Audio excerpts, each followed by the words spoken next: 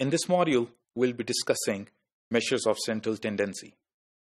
There are two types of statistical methods. One are descriptive and other are inferential. So far, we have been talking about descriptive methods. These descriptive methods help us to describe our data. To describe our data, we have learned about the graphical measures. Then there are numerical measures. Among these numerical measures, there are frequency distributions. The other methods which are commonly used are the summary measures. There are two types of summary measures that we use to describe our data. They are called measures of central tendency and measures of dispersion. In this module, we'll be talking about the measures of central tendency. The tendency of observation to cluster in the central point is called central tendency. The measures which help us to measure this tendency of clustering along the central point are called measures of central tendency. In layman's term, a measure of central tendency is an average. It is a single value which can be considered typical in a set of data as a whole. Generally, it's not very easy to, to talk about the measures of central tendency in a graphical way. Let's consider an example to describe this average. That if we have some data and we plot it on a graph, and this specific type of chart is called a scatter plot. If we want to see if we want to describe this whole data points with only one value, we will tend to describe something that is right in the middle of it. This value is kind of equidistant from uh, in, in aggregate from all the values. So such type of values help us to measure where the exact the center is. These measures of central tendency are also known as measures of location, and they are very famously known by average. In another example, in a class of 40 students, the average height would be the typical height of the members of this class as a whole. Different types of measure of central tendency are mean, median, and mode. Mean is further described as arithmetic mean, geometric mean, and harmonic mean. And all these measures have different usage. Arithmetic mean is the most familiar measures of central tendency. It is obtained by adding all the values in a population or a sample and dividing it by the number of values that are added.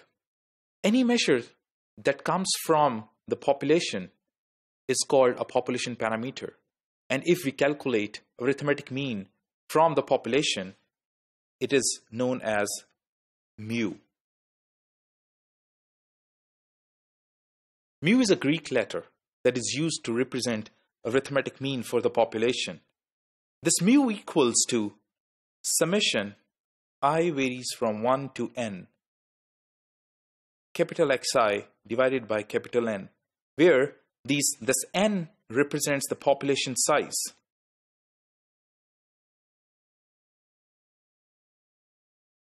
And these Xi's represents ith observation in the population.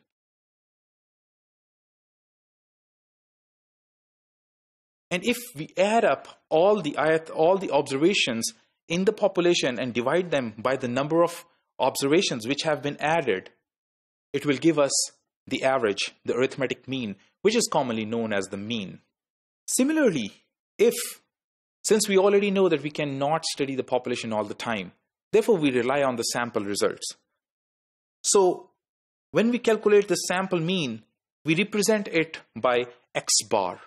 x bar equals sum of the, all the observation in the sample this xi represents sample, sample observations divided by capital N. And just make this correction. This is capital X. And this small x i represents ith observation in the sample. Whereas this n denotes sample size.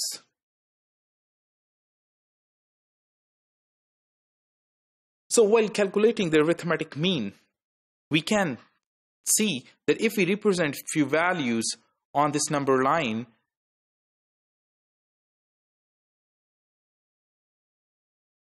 so for these five values, if we can see this is the centermost observation, this value will be called x bar, which is the arithmetic mean. But if we add just one observation over here, which is a bit away from the center, mean will shift toward this value and we'll get a new center, which is x bar, a new x bar due to this observation. And similarly, if we add one observation over here, the mean will shift from this, from this to this. So the mean is something that actually is very much affected by the observations because it includes each and every, every observation in the data. So let's see an example that if we have the white blood cell counts of five patients enter in the dengue ward in a particular hospital in Lahore, we wish to calculate the average cell count in these five patients. The first patient, which will be called X1, has the cell count of 4,500. The second patient has X2, which is 4,900. Third patient will be represented by X3, which is 3,730. And similarly, fourth patient and five, fifth patient will have certain cell counts. To, if, you, if you wish to calculate the mean out of these five, for these five values, it is going to be x bar, which is sum i varies from 1 to n xi divided by n, which is the sum of all observations, which is x1 plus x2 plus x3 x4, x5 divided by 5, and this all adds up to 27,863. And if we take, if we divide this sum by the number of observations, since we, we added 5 observations, we will divide it by 5, and the answer turned out to be 5,572.6 cell count. This value is an average value which represents all these five values given above. The way we interpret this average is that there are all these five patients have average cell count of 5572.6. Arithmetic mean has multiple properties. The first one is its uniqueness because for the given data set, there is only one and only one arithmetic mean. Arithmetic mean is easily, easily understood and easily calculated. That's why it's one of the most common measure of central tendency. Hence, it is simplistic. The arithmetic mean is the most reliable measure of central tendency since it takes into account every item in the data set. It is used only if the data are measured on interval or ratio scale. And further, we will be discussing this, this property in the next module. Since arithmetic mean takes into account of each and every value in the data, therefore extreme values also have a strong impact on the arithmetic mean.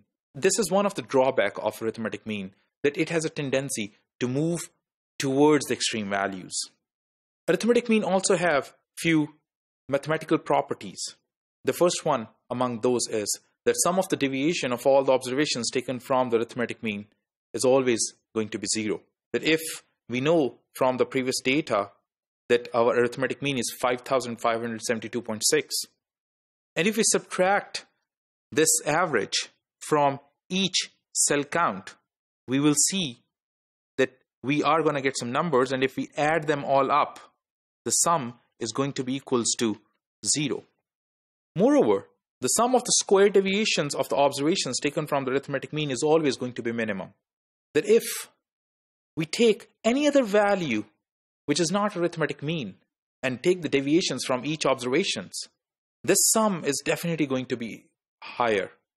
Over here, if we see that sum of the deviations of observation and the, if we square them up, the value is, is, is going to be 1, 12857.175.2. But if instead of x bar, which is 5572.6 here, if we use any other value, let's say 5578, this value is definitely going to be smaller than when we use 8, 5578 here in the deviations. Hence, the deviations, square deviations, are always going to be minimum if they are taken from arithmetic mean. Arithmetic mean is most commonly used measure of central tendency. The other measures are median and mode, which we will be discussing next. Thank you.